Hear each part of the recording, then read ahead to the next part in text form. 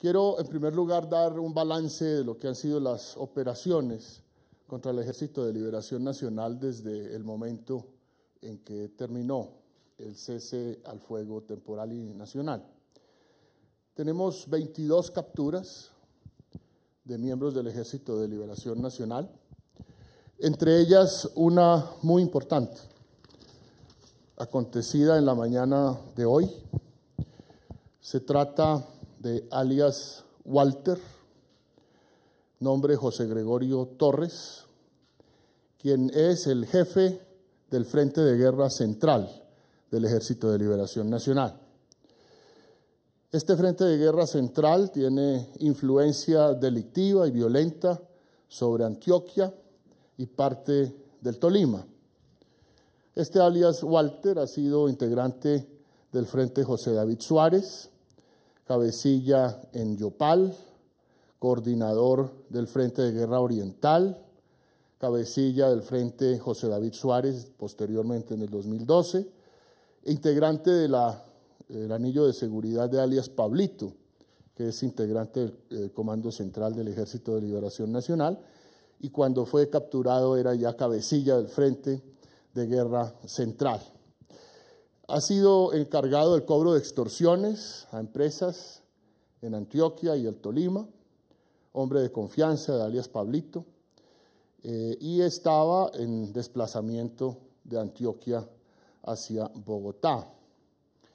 Eh, con esta captura muy importante, muy importante, tal vez la más importante desde la captura precisamente de alias Pablito hace un tiempo, se neutraliza esa proyección estratégica del ELN en estas zonas que he mencionado.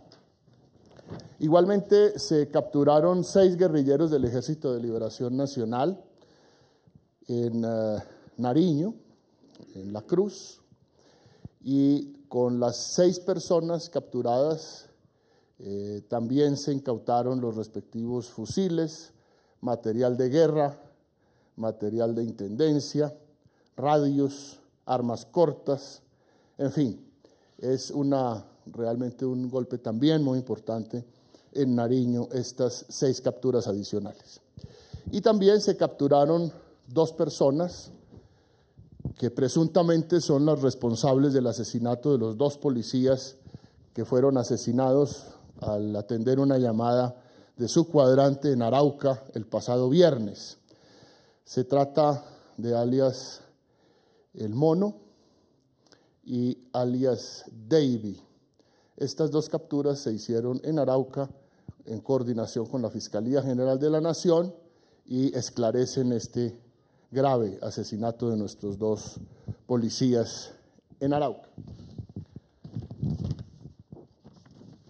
También hemos logrado eh, ya lanzar decenas de operaciones en todo el país.